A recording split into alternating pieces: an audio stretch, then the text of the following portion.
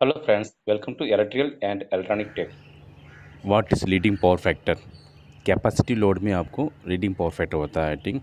इस capacity circuit में capacity के बदले मैंने एक वाटर टैंक कंपेयर कर रहा हूँ ठीक?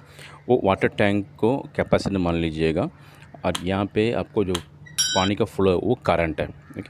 पहले करंट शुरू हो जा रहा है उसके बाद ही आपका जो पानी बढ़ रहा है धीरे धीरे बढ़ के फुल वोल्टेज मतलब पानी टैंक बढ़ रहा है तो वोल्टेज फुल हो जा रहा है कैपेसिटर में ठीक सो इसमें क्या है, पहले आपको करंट, उसको कुछ टाइम डिले बहुत वोल्टेज ओके ये करंट और वोल्टेज का जो एंगल फेस एंगल डिफरेंट है, वो लीडिंग पावर फैक्टर ओके इसमें क्या है करंट लीडिंग वोल्टेज ओके तो इसी बोलता है लीडिंग पावर फैक्टर जब करंट मैक्सिमम रहता है पिक में रहता है, उस टाइम इसको सीधा देखिएगा वोल्टेज कम रह रहा है, ठीक है?